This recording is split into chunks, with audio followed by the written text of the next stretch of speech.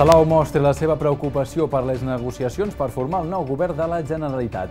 L'alcalde Pere Granados demana a Esquerra que no pacti ni amb CUP ni amb En Comú Podem per protegir Hard Rock. Veu perillar el macroprojecte al centre recreatiu i turístic si alguna de les dues formacions té poder en la pròxima legislatura. Seria molt dolent, seria molt dolent per Salou, molt dolent per la Costa Dorada i molt dolent també per Catalunya que aquests dos partits entressin al govern del Pere Aragonès i al final poguessin avortar un projecte d'aquesta magnitud. ITAC 12 ha pogut saber que l'empresa nord-americana ja hauria dipositat 32 milions d'euros de fiança i que la modificació del pla director per complir amb la sentència del TCJ podria estar aprovada al mes de maig. De moment, en una altra línia, el que ja ha dit l'actual govern català és que a partir de dilluns hi haurà canvis en les restriccions per la pandèmia. Les modificacions no són importants i tindran una vigència de 7 dies. Podran reobrir els centres comercials i comerços de més de 400 metres quadrats amb un aforament del 30% de dilluns a divendres. L'esport també s'adequarà al 30% i es permetran les colònies escolars amb grups bombolla. El toc de queda i el confinament comarcal es queden fins que el sistema sanitari estigui menys tensionat. I pel que fa a les negociacions per ampliar el govern de Tarragona, els tres regidors de Junts tindran la darrera paraula perquè diuen es senten lliures per prendre la decisió. Expliquen que informen puntualment tant al PDeCAT com a Junts per Catalunya, però des de la secció local de Junts a la ciutat es negue cap vinculació amb el grup municipal. L'alcalde de Torredembarra reclama les administracions competents que actuïn per resoldre la problemàtica generada arran de les ocupacions il·legals. Entre altres eines, Eduard Rovira creu que amb més agents dels Mossos d'Esquadra al municipi, el conflicte no s'hauria agreujat tant. Ho ha dit en una entrevista al Saló de Plens, a TAC 12, que es podrà veure aquest vespre després del Notícies 12. I el Nàstic torna a competir després de l'aturada de la setmana anterior. Els de Toni Saligrat juguen demà al camp d'un hospitalet enfonsat a la taula. Cal guanyar per continuar al capdavant de la segona B quan queden 5 jornades de la Lligueta. Aquests són els nostres titulars d'aquest divendres. Benvinguts al Notícies 12.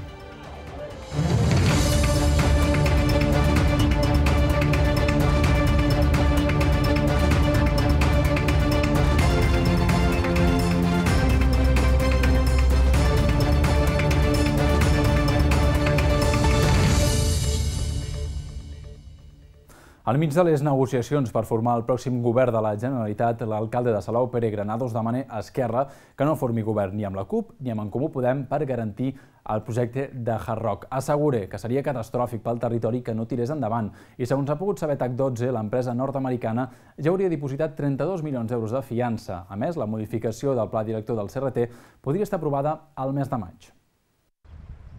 Les aritmètiques del Parlament preocupen a Salou. Segons quins partits formin part del nou govern de la Generalitat poden fer perillar el projecte de Hard Rock.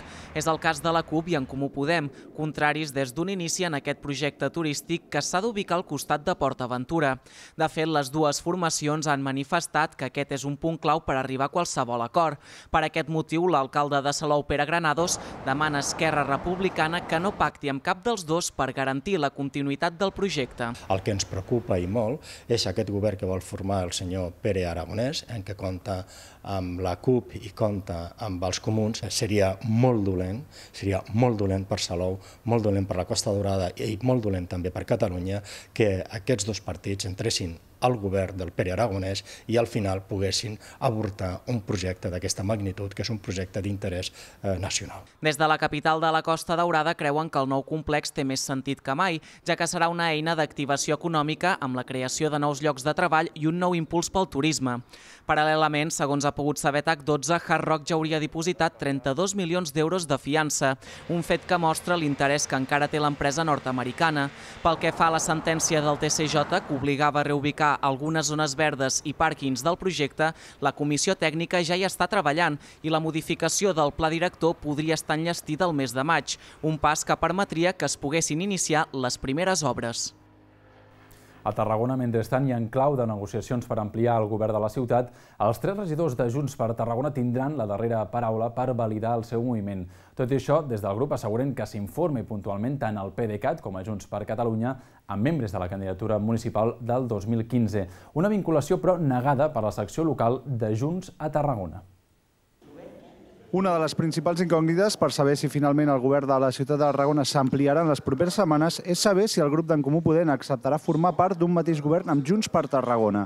Una fórmula que podria no ser ben vista des de fora de la ciutat, sobretot en un moment de possibles pactes també al Parlament. Però ara bé, amb qui pactaria exactament el govern tarragoní? Doncs amb un grup municipal que compta amb tres regidors, Didac Nadal, Cristina Guzmán i Elvira Vidal, que són independents i en aquest moment no depenen de cap disciplina de partit. És així des de que els dos primers es van donar la baixa del PDeCAT, ja que la tercera era independent des d'un primer moment i, al contrari que altres membres dimissionaris del Partit Demòcrata, no han fet el pas cap a Junts per Catalunya. Tot i això, encara que des del grup municipal defensen aquesta capacitat de decisió, asseguren que, donada la complexitat de casos que es donen entre els membres que confirmaven la seva candidatura, mantenen un constant transpàs d'informació tant amb la secció local dels demòcrates com amb la direcció de Junts al Territori, encapçalada per Eusebi Campdepadrós perquè és evident que el grup municipal de Junts per Tarragona d'alguna manera ha de despatxar amb els dos partits polítics, ha d'estar a disposició dels dos partits i evidentment que hi hauran les consultes i que hi hauran una mica les reunions. Al tema de si es constitueix govern, no es constitueix govern, perquè ens veiem amb l'obligació de despatxar-ho amb un partit i amb l'altre. En el cas de Junts per Catalunya, heu de tenir en consideració que la meitat de la meva llista són militants de Junts per Catalunya, però és que, a més a més, jo amb l'Eusebi Campdepadrós, que és el president de la vegueria, estic en contacte permanent cada setmana. Un intercanvi d'informació amb Junts per Catalunya que s'ha negat des de la secció local del partit a Tarragona. Tot i la coincidència de nom, els representants del partit de Carles Puigdemont a la ciutat volen aclarir que en cap moment han tingut relació amb el grup de Junts per Tarragona des de la seva constitució com a nova formació coincidint amb les darreres eleccions al Parlament. Junts per Catalunya és un partit nou que es va crear fa 7-8 mesos, que no té res a veure amb aquest, amb aquest grup municipal, i, i ja està. I fins aquí no, no, no tenim cap relació Junts per Catalunya ni, ni la nostra coordinadora local amb el grup municipal de Junts per Tarragona. En aquest sentit, des del PDeCAT, partit que conserva els drets electorals de la coalició que es va presentar a les municipals del 2015, defensen voler ser informats de quins són els pactes als que s'arribi amb el govern municipal i les possibles aliances amb partits antagònics amb els demòcrates com la CUP. És per això que confirmen una reunió amb els membres del grup municipal la setmana vinent per compartir aquesta informació.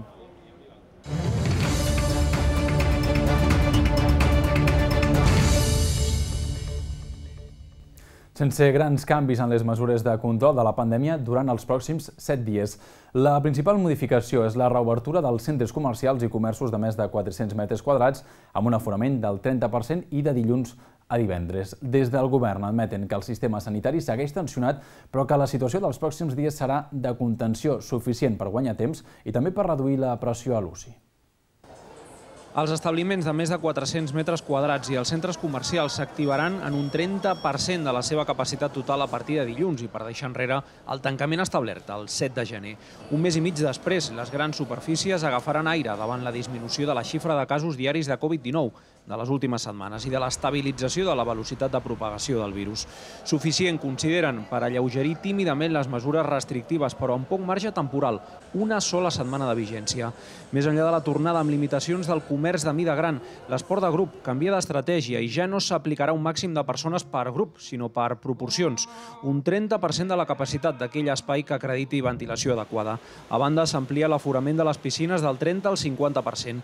En l'àmbit educatiu, tornen les colònies perquè els grups escolars bombolla podran pernoctar, a diferència que fins ara, mentre que la presencialitat dels segons cursos universitaris es recuperarà a partir del 8 de març. El confinament comarcal seguirà com fins ara per evitar que la mobilitat es descontroli. La situació avui de la Covid, després d'aquest any, és estable, però l'ocupació en els líquids de crítics continua sent molt alta, la tensió en el sistema sanitari per haver d'afrontar la Covid i tots els aspectes de no Covid porta en una tensió permanent des de fa un any. Transitar fins a aquest canvi d'escenari, un canvi d'escenari que per sort ja veiem i ja estem amb tota la intensitat de les dosis que ens han arribat en la vacunació doncs per poder garantir doncs que el futur serà diferent. El termòmetre de l'epidèmia perd temperatura respecte a setmanes enrere i creuen que això és suficient per afluixar amb cura el gruix de restriccions actuals, amb la intenció de contenir les corbes, assumir lleus repunts, però descartar que els efectes de l'epidèmia es disparin un altre cop. La clau diuen que l'RT, la velocitat de propagació, no passi de l'1, independentment de si fluctua centèsimes per sota d'aquesta xifra. El nombre de tesos a l'UCI anirà a menys els dies vinents, independentment que pugui arribar a pujar el grau de contagis. No estem creixent, certament, estem fins i tot baixant. La idea d'anar reobrint és perquè pensem que és necessari aquesta, eh, aquest donar aire que estem parlant des de fa ja uns dies, eh, que ho fem a poc a poc. També fixis que anem canviant la cadència dels 15 dies, que eren els més habituals de resolució a resolució, d'una setmana en una setmana, per anar mirant eh, més acuradament com va evolucionant la pandèmia. Les mesures actuals a bars i restaurants es mantindran com a mínim tota la setmana vinent.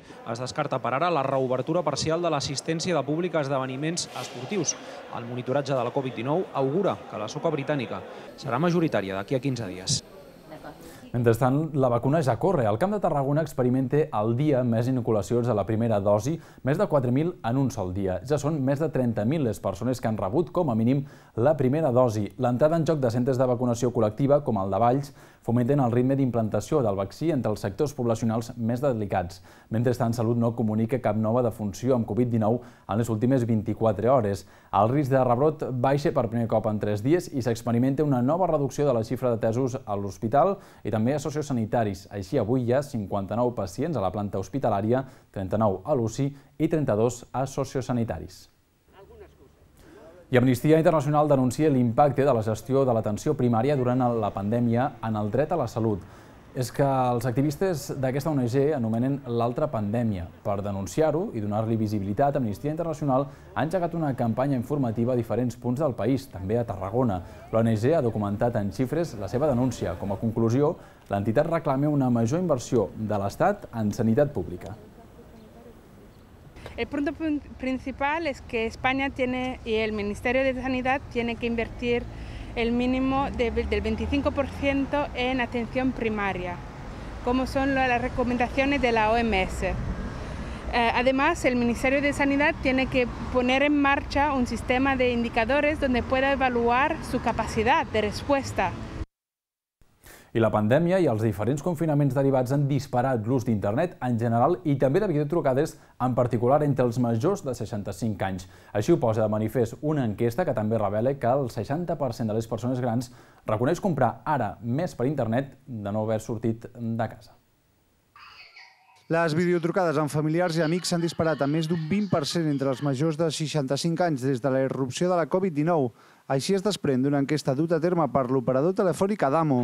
En aquesta es posa de manifest que 4 de cada 5 persones en edat de jubilació afirmen que es senten més acompanyats gràcies a les videoconferències. L'altre gran augment pel que fa a les noves tecnologies en els més grans és la compra online, ja que el 60% reconeix que l'utilitza més sovint per evitar sortir de casa.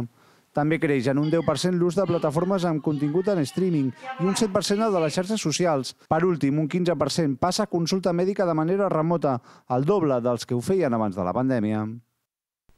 Valls estrenarà a finals de primavera nou centre de dia. La Fundació Vilaniu traslladarà els actuals usuaris a un nou edifici més ampli i desvinculat de la residència al camp. El nou equipament és propietat de la Fundació Ginac i es troba a pisos Clols. Amb el canvi es podrà ampliar també el nombre d'usuaris fins a la quarantena. L'antiga seu de la Fundació Ginac, ubicada a Pisos Clos, tindrà des d'aquesta primavera una nova utilitat. Un acord entre aquesta entitat i la Fundació Vilaniu permetrà a aquesta última explotar l'equipament com a centre de dia. D'aquesta forma, la Fundació Vilaniu traslladarà a aquestes noves instal·lacions la trentena d'usuaris de l'actual centre de dia que gestiona i que comparteix espai amb la residència al camp. Un detall aquest últim, que l'ha inutilitzat durant els últims 11 mesos per les restriccions derivades de la pandèmia. Sí que a vegades tenir eh, en un mateix edifici eh, tots els serveis et facilita doncs, eh, o t'abarateix costos de personal, però aquí ten, tenim més, més espai, més qualitat i a més a més tenim la certesa de que eh, si la pandèmia continua el centre podrà seguir estant obert i podrem seguir donant servei, no? que això és fonamental en aquest moment. La nova seu del centre de dia ocuparà un espai de 400 metres quadrats que contrasten amb els 160 de l'actual espai compartit a la residència al camp. Més àmplia i funcional permetrà arribar a una capacitat de 40 usuaris. També oferirà la possibilitat de distribuir millor els serveis i afegir-ne de nous. Sí que aquest espai es diferencia del que teníem perquè tots els serveis estaran um, en un mateix espai en aquest edifici que, um, en els quals podem trobar un equip tècnic multidisciplinar, um, fisioterapeuta, infermeria, treball social, educador social i l'equip gerocultor. Val? Són com serveis de centre de dia. Actualment s'està duent a terme una rehabilitació integral de l'edifici pressupostada en mig milió d'euros per adaptar-lo a les necessitats del futur centre de dia. Es confia que els treballs estiguin enllestits a finals d'aquesta primavera i que la nova instal·lació ja estigui en funcionament a l'estiu.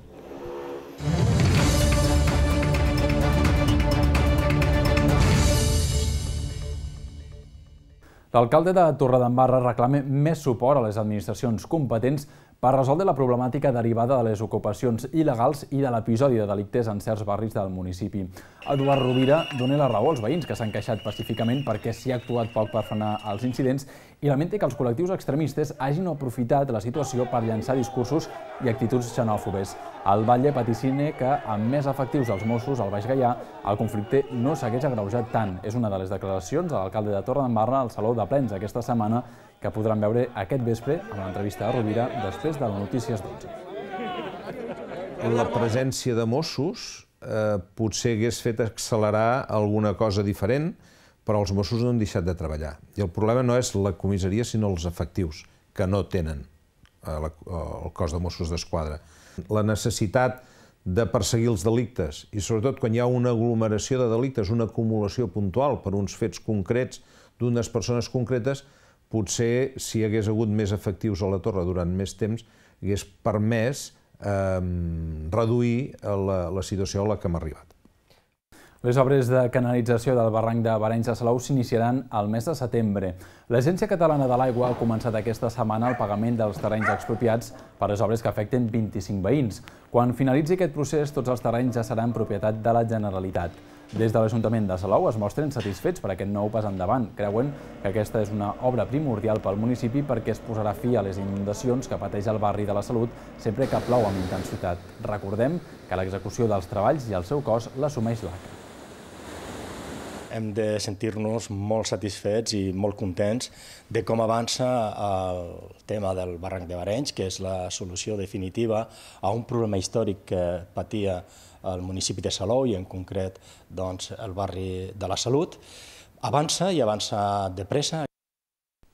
Mentrestant, el ple de la Diputació de Tarragona ha aprovat definitivament el projecte de condicionament de la carretera TP 2039 entre el Catllà i la rotonda d'intersecció amb la Nacional 340 a Tarragona. Les obres s'iniciaran a finals d'aquest any. S'invertiran més de 5 milions d'euros per millorar un tram de 4 quilòmetres per on hi passen 2.200 vehicles cada dia. Les obres de condicionament del tram de carretera entre el cementiri del Catllà i l'N340 Tarragona permetran eixamplar la via, deixant dos carrils de circulació amb 3 metres cadascun i vorals d'un metre. També es farà més ampla l'estructura sobre el torrent Mas de la Creui i es farà un millor drenatge de la via. A banda, s'instal·laran i milloraran els elements de seguretat viària. L'objectiu és regular el trànsit i millorar la seguretat d'aquest tram de més de 4 quilòmetres, que també preveu la construcció de tres rotondes.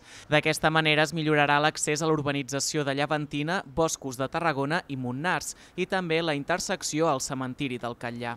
El projecte té una inversió de més de 5 milions d'euros. La Diputació de Tarragona intervindrà en aquesta via per l'índex de sinistralitat pel seu important ús per nosaltres és, és prioritari no? continuar mantenint en bon estat i millorar, si és eh, el cas, doncs tota la nostra xarxa viària, perquè és una xarxa important que connecta municipis i per tant el que fa és connectar també les persones no? i la ciutadania i tan important és la, la comunicació viària com també la de, de telecomunicacions. Per tant, una cosa no, no ens fa abandonar l'altra. Ara el ple de l'ENS supramunicipal hi ha donat llum verda i les obres s'iniciaran l'últim trimestre d'aquest any i tindran una durada d'un any i mig. I a l'Espluga de Francolí hi haurà canvis al govern perquè la regidora Laura Ruiz de Porres ha presentat aquest dijous la seva dimissió per motius laborals. La pandèmia ha provocat que no pugui compaginar la seva dedicació a l'Ajuntament amb la direcció de l'àrea bàsica de salut de Montblanc i finalment ha decidit deixar pas a la següent candidata de la llista electoral de Som Espluga.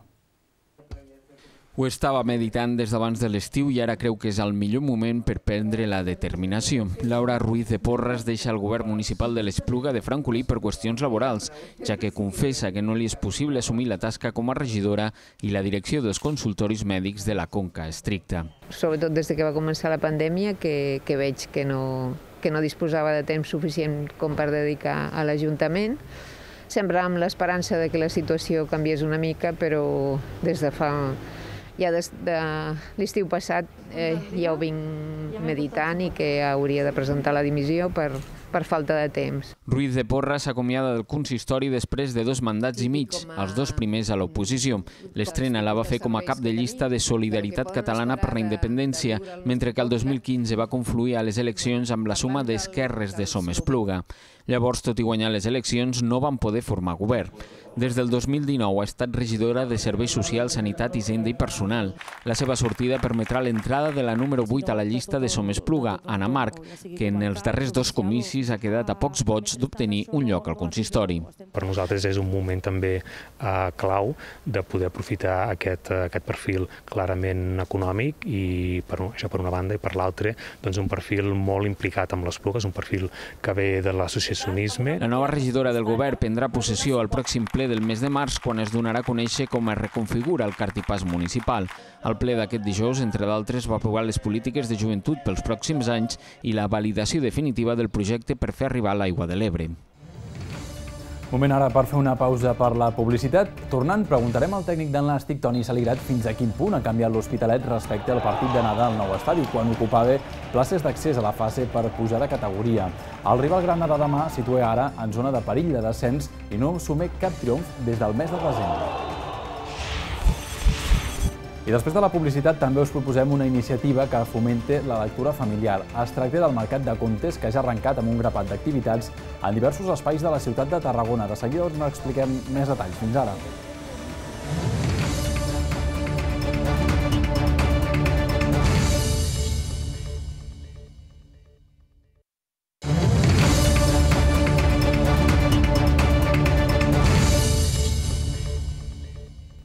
L'Hospitalet Nàstic d'aquest dissabte creuer dues dinàmiques contraposades. Els locals no guanyen des de l'any passat i els visitants no perden des de la primera jornada. En qualsevol cas, els grana han de sumar els 3 punts perquè la primera plaça no corri perill. El lideratge, com gairebé sempre, en joc. Torna la Lliga del Nàstic després del descans previst de la setmana anterior i quan queden 5 jornades per acabar la primera fase. Amb l'Andorra dos punts per sota toca l'Hospitalet, el mateix rival que en l'anada va passar com a líder pel nou estadi i que ara és penúltim en zona de possible descens. La metamorfosi negativa d'un equip que ja va torçar-se a Tarragona, perdent per 5 a 0. I a més a més d'anar primers, eren l'equip menys golejat del grup Ara van a la zona baixa i casualment són l'equip més golejat del grup. Ells continuen fent gols, continuen tenint un bon tracte de pilota, i això ho continuen fent igual. Sol que defensivament estan encaixant molts gols i ja sabem que això en aquesta categoria és, és molt difícil de contrarrestar. Gonzi és l'única absència segura per lesió, mentre que Jesús Rueda, Fullana, Frank Càrbia i Trilles arriben molt justos. També Brugui, que l'Hospitalet no desperti contra el Nàstic. Crec que aquest partit ha d'anar amb els sis sentits, perquè ells realment tenen una necessitat molt gran de punts, de revertir la situació, i també el que hagi vist a l'Hospi a casa i a fora no té res a veure ni a nivell de resultats que ha obtingut ni a nivell de joc. A casa és un equip molt fort. L'Hospitalet Nàstic començarà aquest dissabte a les 7 de la tarda, mentre que l'Andorra jugarà a casa contra el Prat. També en futbol i a la tercera divisió, la Unió Esportiva Valls encara és a temps d'arribar a la fase per la permanència amb les opcions intactes. Això sí, calcula que ha de guanyar un parell dels quatre partits que queden a la lligueta inicial. El primer d'ells es jugarà dissabte a les 5 de la tarda i al camp del Vilafranca d'Ivan Moreno. Fa setmanes que expliquem que els ballencs han millorat prestacions i que la fortuna no acompanya en forma de resultats positius.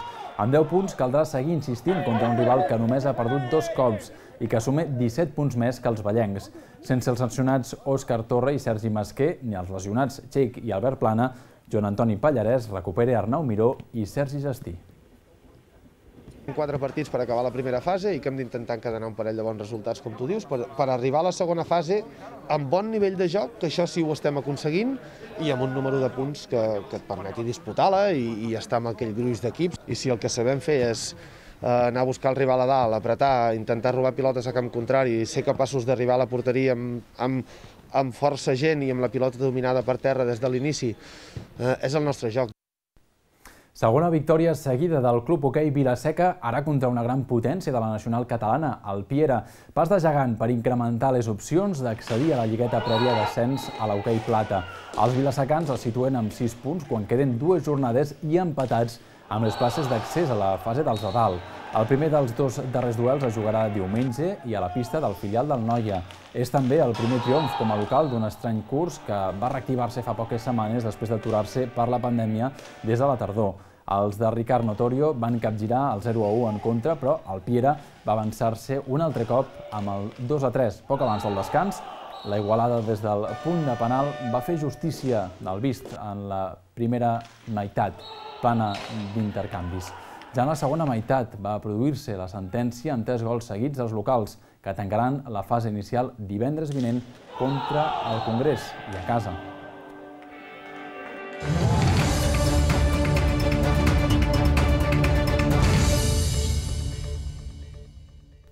Tot i no haver-hi activitat castellera, les colles continuen els seus processos de renovació de les juntes tècniques i directives.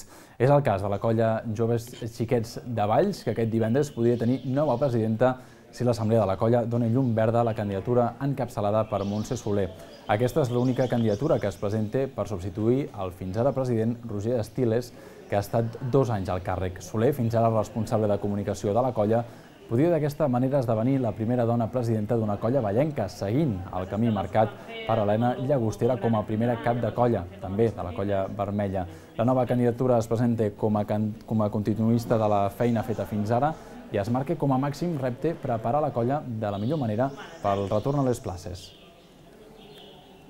aprofitar i cuidar aquells aspectes que una temporada normal doncs, eh, no ens permet, o no ens permet, si més no, posar-hi tanta atenció, fer-ho i d'aquesta manera, doncs, eh, quan, quan tinguem tot això eh, més aviat eh, solucionat, d'aquesta manera també podrem tornar a l'activitat castellera amb moltes més garanties i sobretot doncs, això que dèiem, no? molt més fort del, del que ja érem.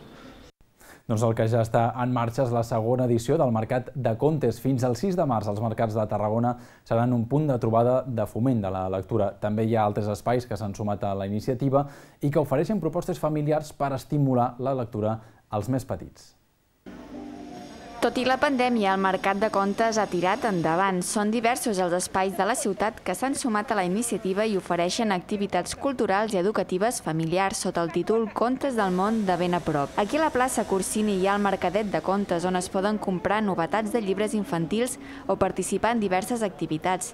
També s'ha organitzat una recollida solidària de contes. Han ficat aquesta mena de mampara perquè, clar, no es poden mirar. Sí que també és cert, tenim una mica, tenim gel, per si en algun cas algú el vol mirar. Tenim un taller que és d'escriure a cadascú, que vingui i escriure una frase com, com, és com un conte. I després ja mirarem, quan plega tot, com queda el conte. En el cas de les parades de restauració dels mercats de Tarragona, han optat per obsequiar amb un llibre als clients que facin una consumició de refresc o aigua. Trobo que qualsevol iniciativa que incentivi el, el llegir i el, i el moure una mica la gent en, en aquests temps que, que són una mica difícils, eh, està molt bé. A la gent li fa, li fa molta gràcia els llibres i trobo que estan ben escollits. Una edició que reivindica la importància del conte i el fet de gaudir de la lectura familiar. Altres propostes per atraure els lectors són els 20 contes que s'han repartit entre els establiments de la ciutat, una gincana o els tradicionals contes teatralitzats al Teatre Magatzem.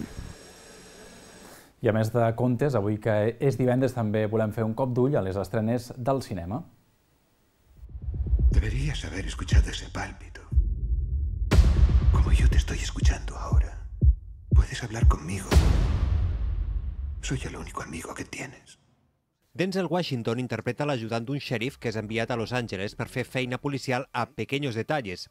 Allà es veurà immersa la caça d'un assassí en sèrie dirigida per un sergent d'homicidis, interpretat per Rami Malek. Davant d'ell s'interposarà el personatge de Jared Leto, La recerca traurà a la llum el passat de l'ajudant del xèrif i posarà en perill alguna cosa més que el cas. Hay algo que no entiendo. ¿Cómo alguien con el mejor porcentaje de casos resueltos trabaja 15 años sin que lo asciendan? No iría a la iglesia adecuada. Però això és un cargol que vol veure món. Com m'agradaria navegar.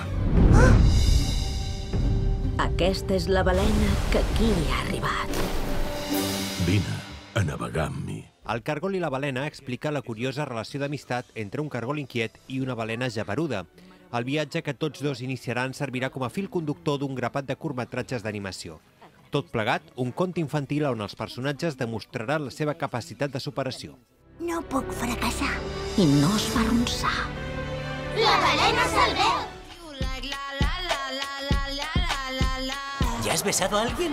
Eh, aún no. ¿Eres marica? L'Eddie i l'Amber són dos adolescents que intenten sobreviure a un institut irlandès als anys 80. Així arrenca Dating Amber. En una època d'hormones revolucionades, tots dos intenten adaptar-se i amagar la seva homosexualitat. Per aconseguir-ho, decideixen fingir que són parella, un fet que provocarà no poques situacions còmiques.